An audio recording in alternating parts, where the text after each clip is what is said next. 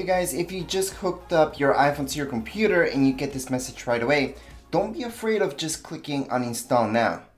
This will not restart your iPhone, won't do anything that you can see actually. It's just gonna download this software, okay? And then you're good to go. So it doesn't mean that you can go to your phone right now, go into general, and then check for updates because you will see nothing at this point in time. Now in some cases, sure, you might be missing an update or something like that, but that has almost nothing to do with this. Right now, this is because Apple has been updating a few things. So in order for your iPhone to sync up with your Mac properly, you do need to install this. This is a very fast installation process since it's such a small file.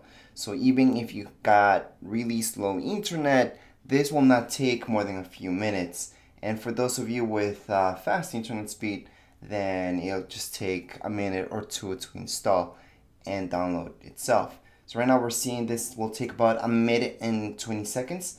So it's gonna be a little bit shorter than that anyways. So right now I'm making this video just to show you the normal process, what's supposed to happen. So after you saw that, it's supposed to just disappear and you're done. There's no window telling you, okay, you're done. and that's the bad thing. Some people get confused because they're like, wait, did I just install it? Because it just disappeared, never said finished or anything like that. And uh, it's okay. This is the way it works. Right now, you guys can go ahead and go into Finder, for example. And if you open up Finder, just click on your phone, open it up, and here you go. So everything's supposed to be as is, normal. You're supposed to be able to see everything.